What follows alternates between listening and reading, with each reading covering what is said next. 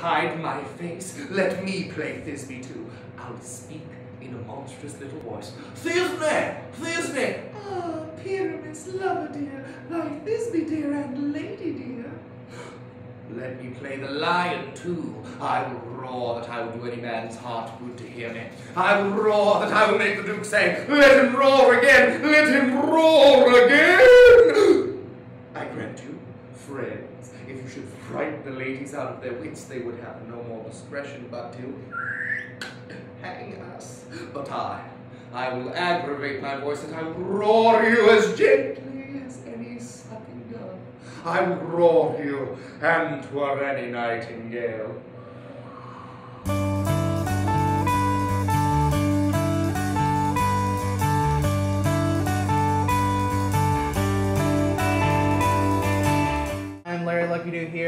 Interviewing the wonderful and lovely Nathan Bliss. I'm here in the Joan C. Edwards Performing Arts Center in the green room in the back of the building interviewing my friend Nathan about success. So, uh, Nathan, to start, I think the first question that everybody, uh, you know, that we should ask is uh, what, what's your definition of success? Success.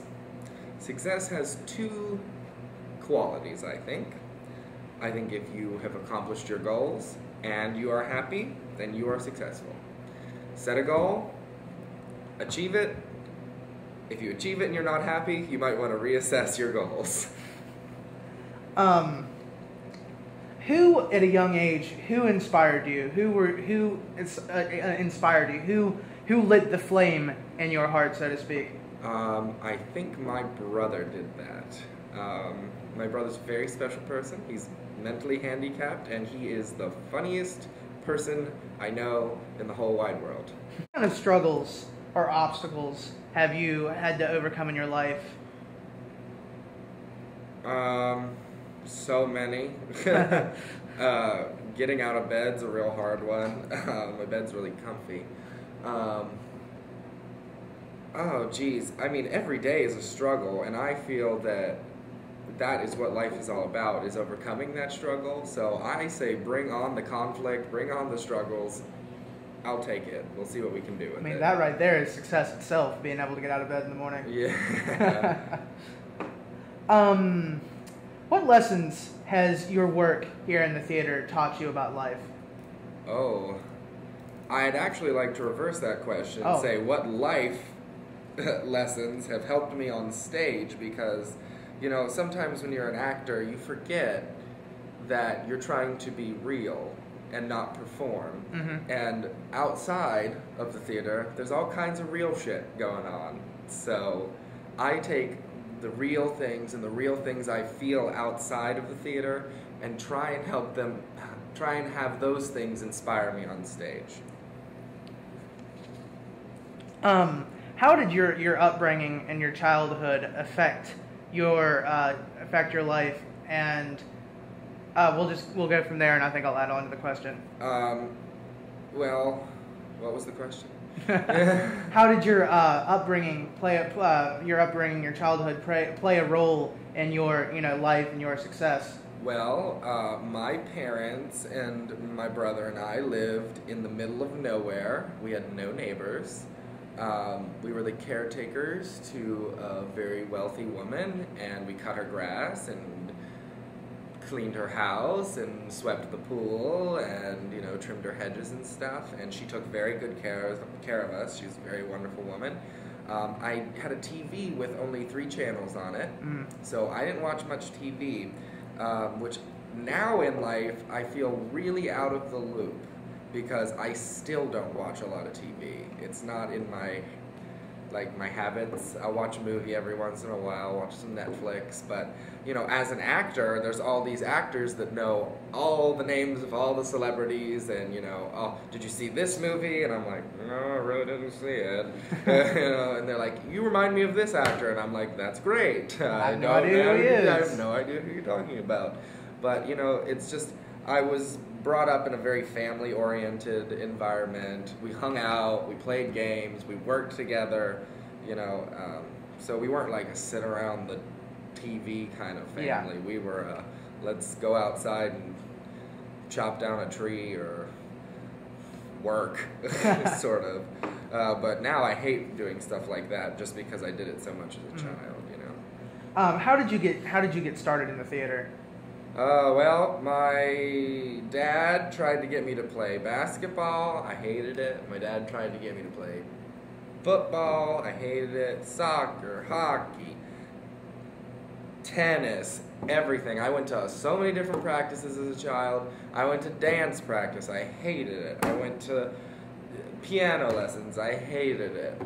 I tried out for the Music Man when I was 10 years old. I got cast as Winthrop Paroo, and I've never left the stage since that day. I've been acting ever since then. I guess I just, I guess it just took me a little while to find my niche. Mm.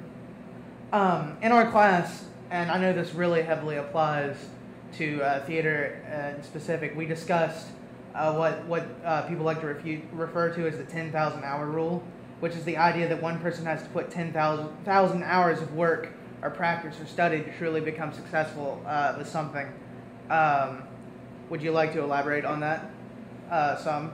Well, I don't know about 10,000 hours, because somebody could put one hour's worth of work in and do it half assed, and then somebody else could come to an hour long rehearsal and work their butt off and get something. So, I guess what I'm saying, it depends on how hard you work in those 10,000 hours, if that will make you successful. Um, let me look at this. We're just gonna cut that out.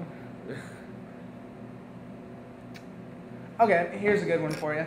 The uh, a question that our um, our professor really wanted us to stress was that uh, from the beginning of time, storytelling has been used to transmit history and culture, um, entertainment, teaching lessons, storytellings. And what kind of role has storytelling played in your personal or your professional life?